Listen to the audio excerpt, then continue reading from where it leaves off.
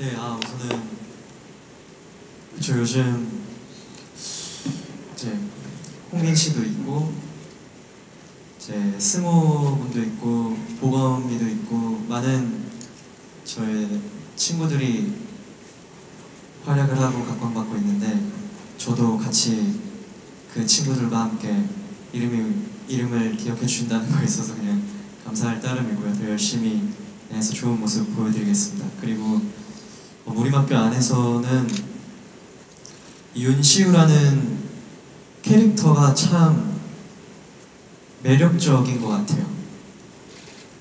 되게 까칠하고 건방지고 약간 기존에 제가 저의 이미지와 상반되는 모습들을 많이 보실 수 있을 것 같아요. 근데 이제 그뿐만이 아니라 그 드라마가 이제 전개될수록 많은 감정들이 나타나고 많은 모습들이 여러분들에게 보여질 거예요. 꼭 까칠하고 이런 매력뿐만이 아니라 로맨스적인 부분이나 다시 그 윤시우만의 어떤 따뜻함, 이런 뭉클함 이런 것들이 여러분들에게 그런 감정선들이 잘 전달된다면